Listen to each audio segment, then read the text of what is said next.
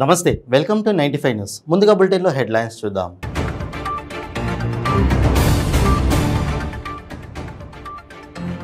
జహీరాబాద్లో మహాజన్ సంపర్క్ అభియాన్ కార్యక్రమం. ముఖ్య అతిథిగా హాజరైన కేంద్ర మంత్రి పురుషోత్తం రూపాల.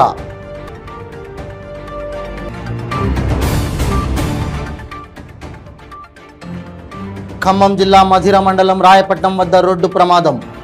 యువతి మృతి మరొకరికి తీవ్ర గాయాలు.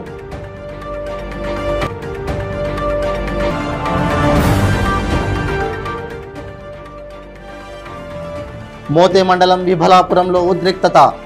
శాంతియుతంగా నిరసన చేస్తున్న గ్రామస్తులపై బీఆర్ఎస్ నాయకుల దాడి.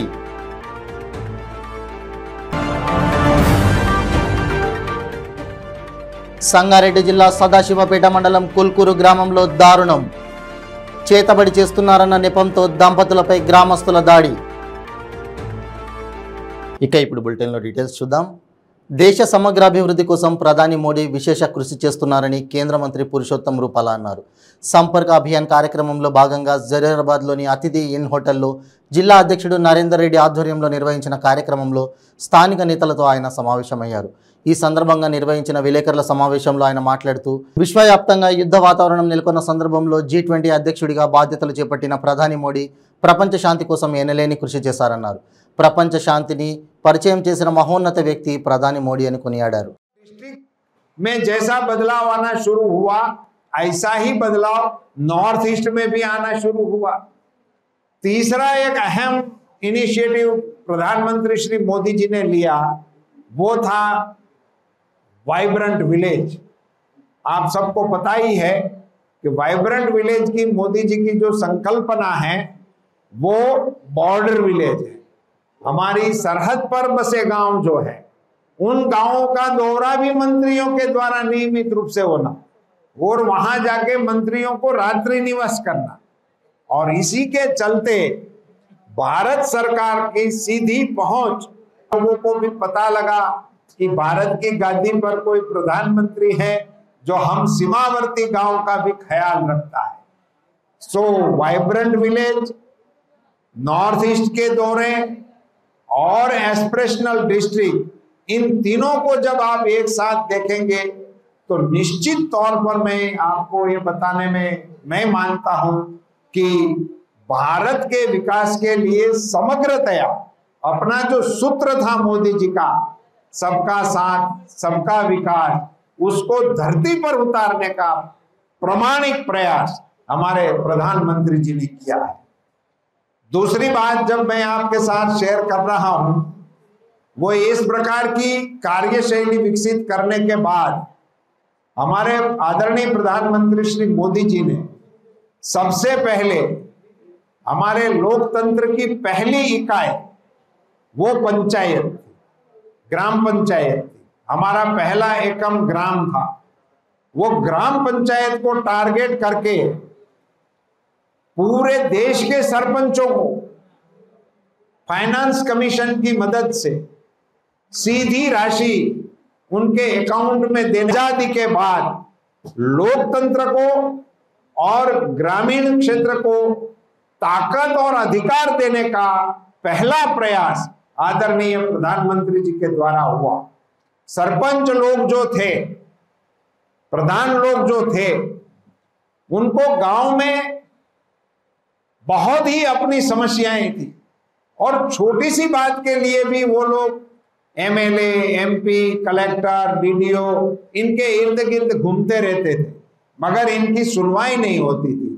आज मैं बड़े विनम्रता से बता सकता हूँ कि पूरे ग्राम पंचायत में, भारत देश के ढाई लाख ग्राम पंचायतों में, भारत माता ఖమ్మం జిల్లా మధిర మండలం రాయపట్నం సమీపంలో కారు బుల్లెట్ ఢీకొన్న సంఘటనలో బుల్లెట్పై ఉన్న యువతి మృతి చెందిన సంఘటన చోటు చేసుకుంది. ఖమ్మం పట్టణ శివారు టేకులపల్లికి చెందిన సంధ్య బంధువుల ఇంటికి నందిగామ మండలం కొత్త మరుకూరు వచ్చారు. అక్కడి నుండి తమ ద్విచక్ర వాహనంపై భర్తతో కలిసి సినిమా చూసేందుకు రాత్రి సమయంలో మధిర వస్తుండగా ఎదురుగా వస్తున్న కారు ఢీకొనడంతో తలకి బలమైన గాయం కావడంతో సంఘటనా స్థలంలోనే మృతి చెందారు. బైక్పై ప్రయాణిస్తున్న మిగిలిన వారికి స్వల్ప గాయాలయ్యాయి. సంధ్యకు వివాహమై ఐదు నెలలు కలుస్తోంది. రోడ్డు ప్రమాదంలో మృతి చెందడంతో ఆ కుటుంబంలో విషాద ఛాయలు అలుముకున్నాయి. పోలీసులు కేసు నమోదు చేసి మృతదేహానికి పోస్టుమార్టం నిమిత్తం ప్రభుత్వ ఆసుపత్రికి తరలించి దర్యాప్తు చేస్తున్నారు.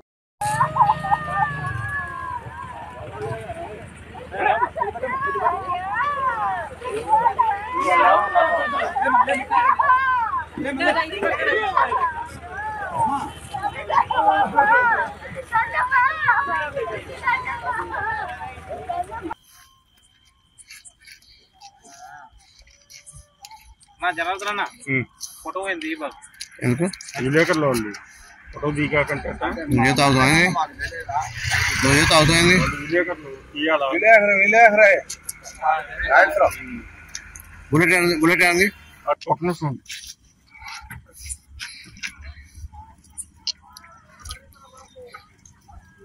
ఈ అబ్బాయి వాళ్ళ ఆయన అమ్మాయి వాళ్ళ ఆయన. అబ్బాయి చూడమ్మా. ఉమ్, పార్టీ మీద ఉన్నా స్పీడ్ బ్రేకర్ వచ్చింది స్లో చేశారు ఉమ్, అటు నుంచి కార్ వచ్చిన వాళ్ళు సడన్గా తిప్పారు సడన్గా బ్రేక్ వేసారు ఉమ్. మేము నలు మొత్తం ఐదుగురు వస్తున్నాం. చిన్న సినిమా ఆదిపూర్ సినిమా కూడా వస్తున్నాం. సడన్గా ఆయన బాగా బ్రేక్ వేస్తాం ఉమ్, తిప్పేసరికి వెనకాల వెనకాలే కారు కుట్టుకొని ఇది మొత్తం పలిగిపోయింది అనుకోండి. ఏందనుకోలేదు దారుణం నాకు? నేను రాంగ్ రూట్లో వచ్చి ముట్టినా ఉమ్. నేను రాంగ్ రూట్లో వచ్చి కుద్ది సరే నేను కుట్టినా అంటే ఒక మీరు ఎందుకు వస్తున్నారు మదిరా సినిమాకి వెళ్తున్నాం అనుకుంది ఆదిపూర్ సినిమాకి అని మా అమ్మ వాళ్ళ దగ్గర మేము చెప్పేసి ఐదుగురు పిల్లగాళ్ళు చిన్న చిన్న పిల్లగాళ్ళు. మా నలుగురికి ఏం కాలే. వెనకాల కూర్చున్న అమ్మాయికి అమ్మాయి డ్రెస్ వేసుకుంటే అమ్మాయికి ఏం కాకపోయింది.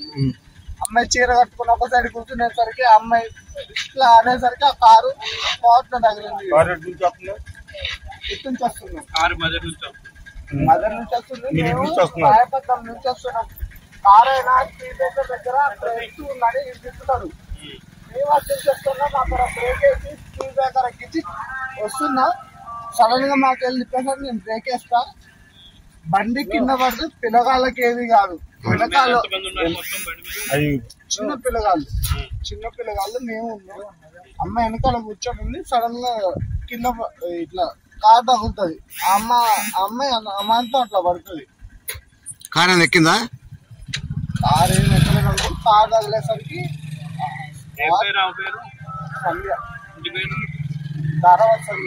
వయసు ఎంత? సూర్యాపేట జిల్లా కోదాడ నియోజకవర్గం మోతే మండలం విభలాపురం అప్పన్నగూడెం గ్రామంలో ఉద్రిక్తత చోటు చేసుకుంది. అనర్హులకు డబుల్ బెడ్రూమ్ ఇండ్ల పట్టాలు పంపిణీ చేశారని శాంతియుతంగా గత కొన్ని రోజులుగా ఆందోళన చేస్తున్న బాధితులపై బీఆర్ఎస్ పార్టీ నాయకులు కారంపొడితో దాడి చేశారు.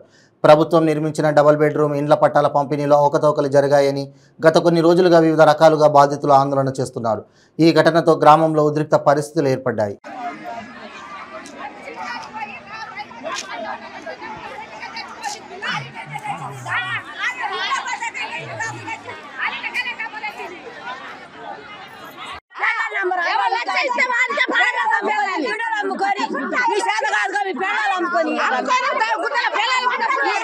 రాయపాడు సర్పంచ్ రాయపాడు మీవురానికి ఎట్లా అమ్ముకున్నారు ఇల్లు నువ్వు ఇల్లు వద్దురా ఇల్లు వద్దా సర్పంచ్కి ఇల్లు వద్దా ఇళ్ళకి వద్దా ఇళ్ళకు ఇల్లు వద్దా ఇట్లా పుల్లారావు అక్రమంగా ఎంపీటీసీ ఎంపీటీసీ గారు ఈ అక్రమ సర్పంచ్ వీళ్ళు అక్రమంగా నైట్ రెండు గంటలకు తోలి మాకిన కిందిలో ఎవరు రావాలి? అంటే జడ్పీటీసీ సర్పంచ్ ఎక్కడ ఉన్నారు?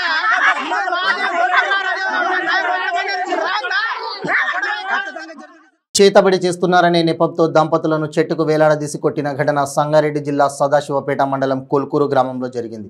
గ్రామానికి చెందిన ముత్తంగి యాదయ్య అమృతమ్మ దంపతులు. కొద్ది రోజులుగా వారు గ్రామంలో చేతబడి చేస్తున్నారనే ఆరోపణలతో గ్రామస్తులు ఇద్దరిని గ్రామ పంచాయతీ వద్ద చెట్టుకు వేలాడదీసి తీవ్రంగా కొట్టారు. తమని కొట్టవద్దని తమకు మంత్రాలు రావని వారు మొత్తుకున్న గ్రామస్తులు వినలేదు. విషయం తెలుసుకున్న సదాశివపేట సిఐ నవీన్ కుమార్ సిబ్బందితో గ్రామానికి చేరుకుని వారిని రక్షించారు. గ్రామస్తుల దాడిలో తీవ్రంగా గాయపడిన యాదయ్య అమృతమ్మలను పోలీసులు చికిత్స నిమిత్తం సదాశివపేట కమ్యూనిటీ హెల్త్ సెంటర్కు తరలించారు.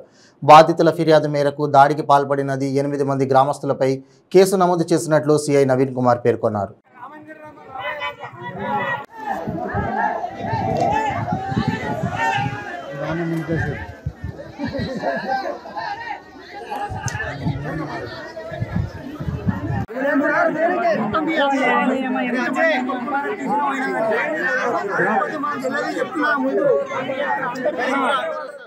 ములుగు ఎమ్మెల్యే క్యాంపు కార్యాలయంలో కాంగ్రెస్ పార్టీ జాతీయ మహిళా ప్రధాన కార్యదర్శి సీతక్క మాట్లాడారు.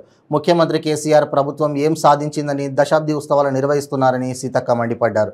కేసీఆర్ పాలనలో ఏ ఒక్క వర్గమైనా సంతోషంగా ఉందా? దశాబ్ది ఉత్సవాల పేరుతో ప్రజాధనాన్ని దుర్వినియోగం చేస్తున్నారన్నారు. ఇచ్చిన హామీలన్నీ నెరవేర్చకుండా ప్రజల దృష్టిని మళ్ళించేందుకే ఈ దశాబ్ది ఉత్సవాలు చేస్తున్నారన్నారు. ప్రభుత్వ నిధులతో తెలంగాణ దశాబ్ది ఉత్సవాలు చేస్తున్న బీఆర్ఎస్ ప్రభుత్వం టీఆర్ఎస్ జెండాలు పెట్టి ఉత్సవాలు చేయడం ఎన్నికల ప్రచారంగా ఉందని ఎన్నికల సమయం ముఖ్యమంత్రి కేసీఆర్ ఇచ్చిన ఏ ఒక్క హామీ నెరవేర్చలేదన్నారు. కొట్లాడి తెచ్చుకున్న తెలంగాణ రాష్ట్రంలో నీళ్ళు నిధులు నియామకాలు ఎక్కడికి పోయాయని అన్నారు. KG to PG fee reimbursement నిరుద్యోగ భృతి ఇంటికో ఉద్యోగం డబుల్ బెడ్రూమ్ ఇల్లు దళితులకు మూడెకరాల భూమి పోడు భూములకు పట్టాలు రైతు రుణమాఫీ మైనారిటీలకు పన్నెండు శాతం రిజర్వేషన్ ఎస్టీలకు పన్నెండు శాతం రిజర్వేషన్ల హామీల విషయంలో తెలంగాణ సర్కారు ఆ ఊసే ఎత్తడం లేదన్నారు. ధరణి పోర్టర్ కేవలం ధనికులకు పెత్తందారులకు మాత్రమే ఉపయోగపడుతుందని కాంగ్రెస్ పార్టీ అధికారంలోకి రాగానే రైతుల పాలిట శాపంగా మారిన ధరణి పోర్టల్ను రద్దు చేస్తామన్నారు. రాష్ట్రంలో రైతులకు జరుగుతున్న అన్యాయాన్ని పరిష్కరించకుండా రైతు వారోత్సవాలు జరపడం సిగ్గుచేటని సీతక్క ఈ సందర్భంగా తెలియజేశారు. ఈ కార్యక్రమంలో కాంగ్రెస్ పార్టీ రాష్ట్ర జిల్లా మండల గ్రామ నాయకులు కార్యకర్తలు తదితరులు పాల్గొన్నారు. మన రాహుల్ గాంధీ గారు మరి తల్లి సోనియా గాంధీ గారు తెలంగాణ ప్రజల ఆకాంక్షలు నెరవేర్చడం కోసం ఇచ్చినటువంటి తెలంగాణలో ప్రజల ఆకాంక్షలు ఏవి నెరవేర్చే పరిపాలన కొనసాగలేదు గత పది సంవత్సరాలుగా.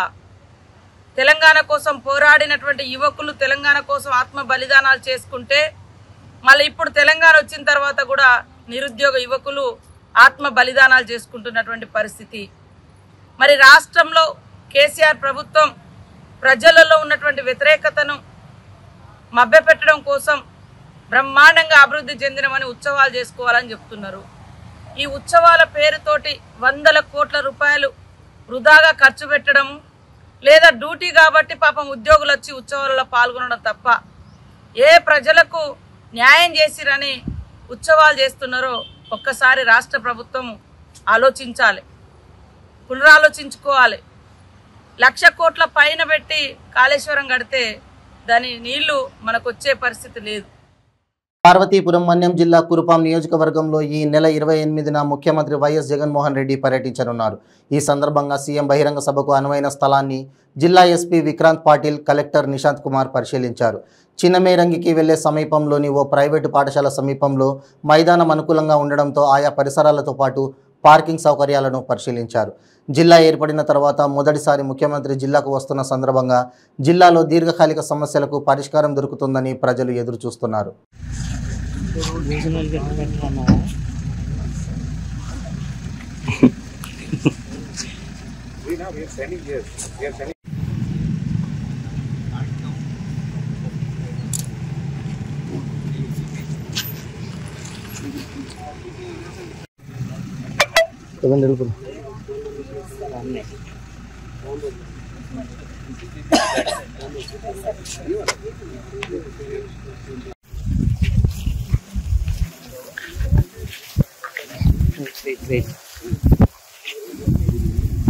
తెలంగాణ దశాబ్ది ఉత్సవాలలో భాగంగా నాగర్ కర్నూలు జిల్లా పోలీస్ హెడ్ క్వార్టర్స్లో ఎస్పీ కె మనోహర్ రక్తదాన శిబిరం నిర్వహించారు. ఈ కార్యక్రమంలో ADL SP Rameshwar ARDL SP Bharat Nagar Kurnool circle సిఐలు మరియు ఎస్ఐలు పాల్గొన్నారు. వీరితో పాటు దాదాపుగా అరవై మంది పోలీస్ సిబ్బందితో పాటు బ్లడ్ డొనేటర్స్ ఇరవై మంది పాల్గొన్నారు.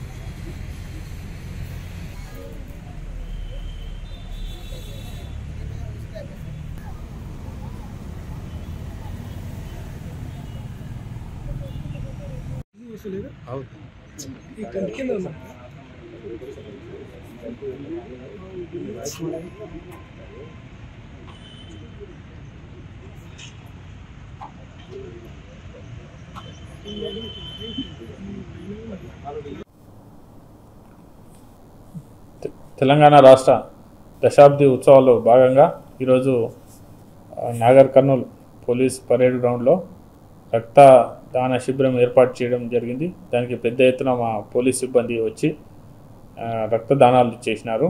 తర్వాత హరితహారం కార్యక్రమం కూడా కొత్త ఎస్పీ ఆఫీస్ ఆవరణలో చేసినాము. అందరు సిబ్బంది మొక్కలు నాటి ఒక టూ హండ్రెడ్ వరకు మొక్కలు నాటడం జరిగింది.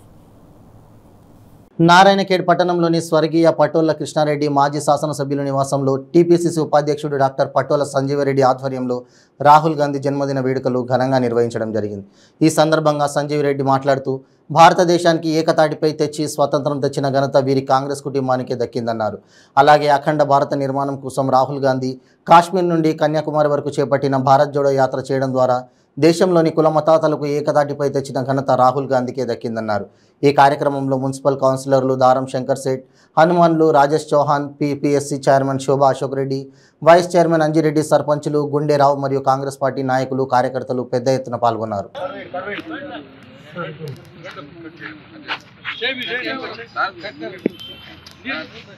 అరే కృష్ణ కృష్ణ కొద్దిగా.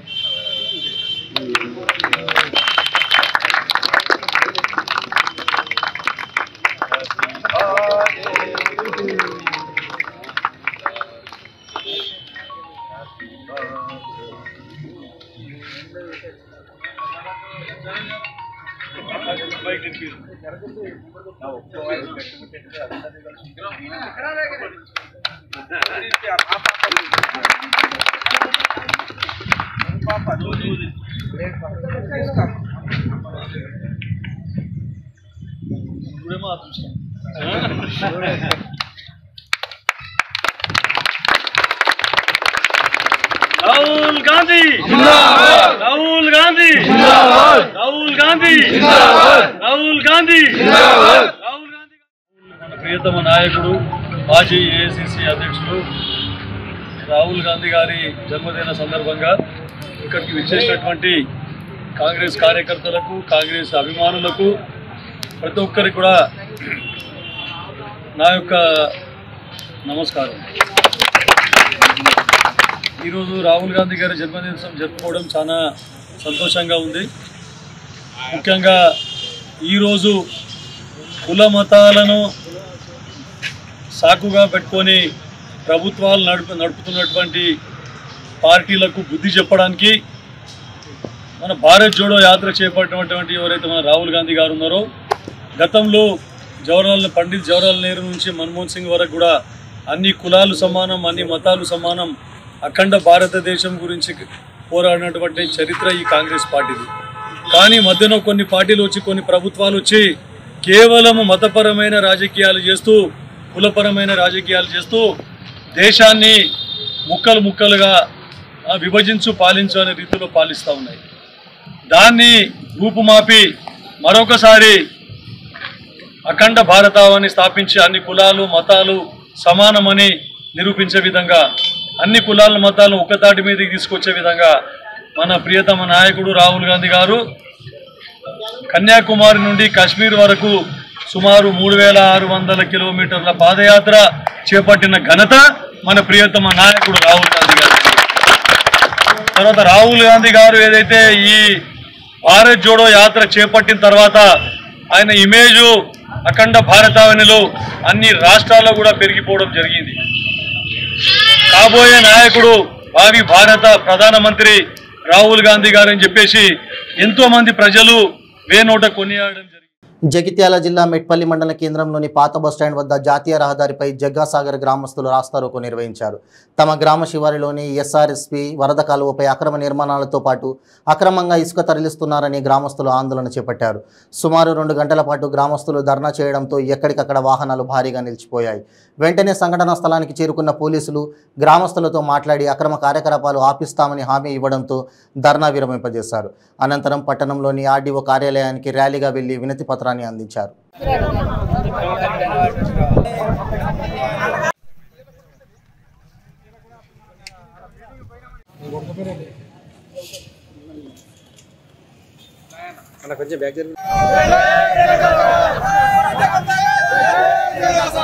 అక్రమ నిర్మాణాలని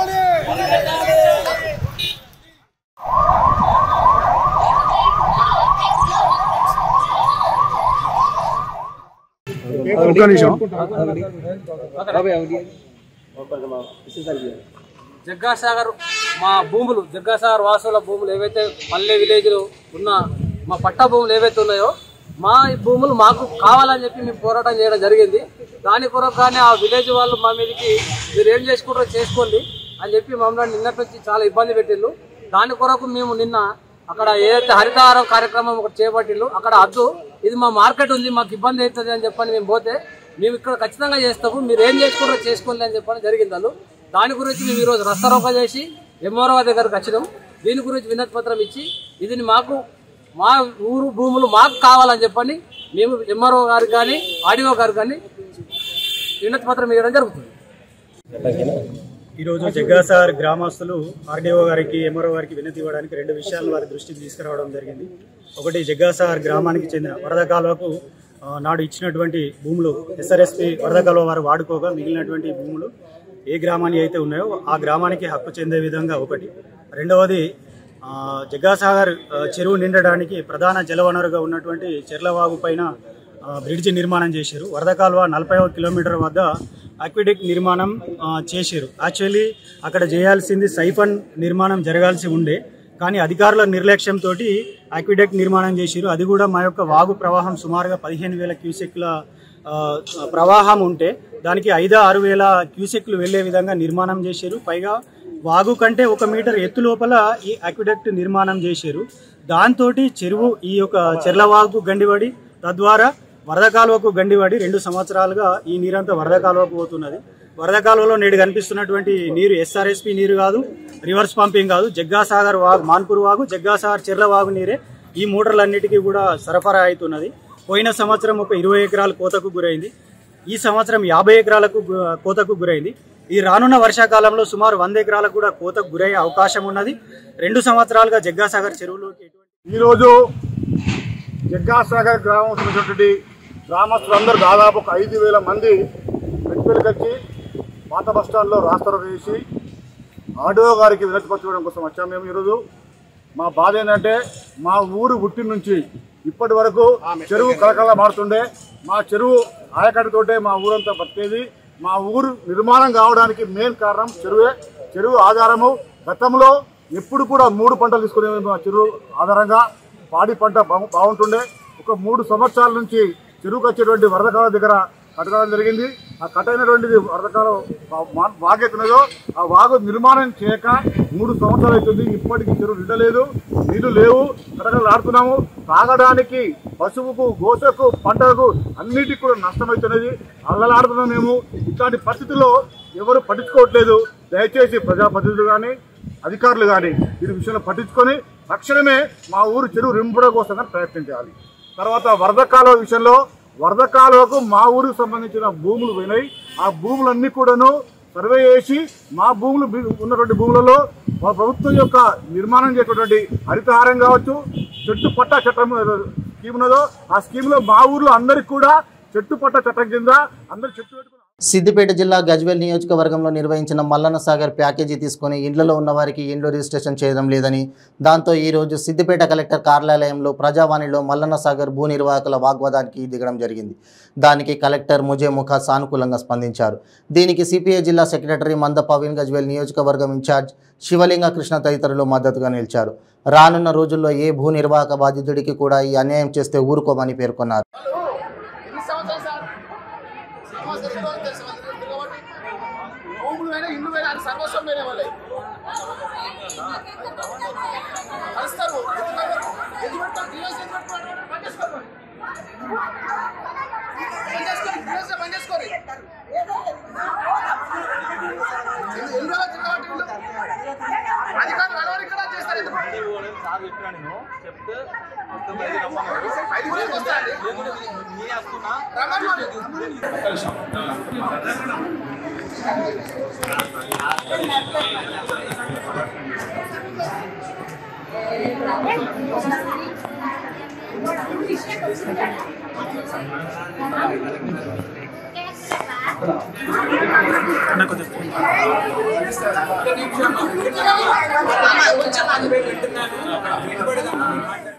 హైదరాబాద్లోని షాలిబండ పోలీస్ స్టేషన్ పరిధిలో ఎస్ఐ అయూబ్ ఆధ్వర్యంలో మిషన్ చెబుత్రా నిర్వహించబడింది.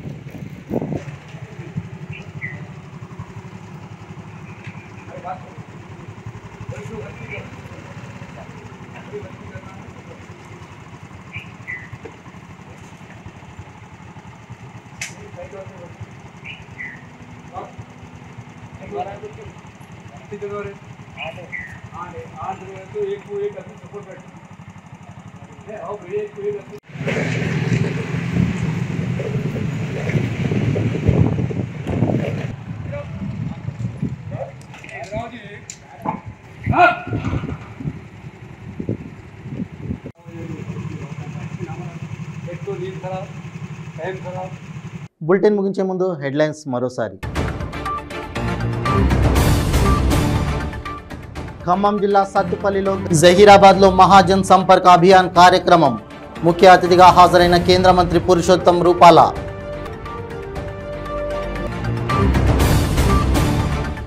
లంచం తీసుకుంటూ ఏసీబీకి చిక్కిన ఖమ్మం జిల్లా మధిర మండలం రాయపట్నం వద్ద రోడ్డు ప్రమాదం. యువతి మృతి మరొకరికి తీవ్ర గాయాలు. పట్టుకున్న ఏసీబీ.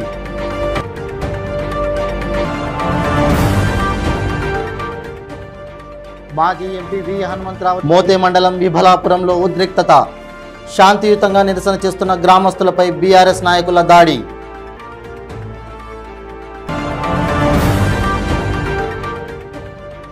సంగారెడ్డి జిల్లా సదాశివపేట మండలం కుల్కూరు గ్రామంలో దారుణం. చేతబడి చేస్తున్నారన్న నెపంతో దంపతులపై గ్రామస్తుల దాడి. ఇవి బులెటిన్ అప్డేట్స్ మరిన్ని అప్డేట్స్ కోసం చూస్తూనే ఉండండి నైంటీ ఫైవ్ న్యూస్.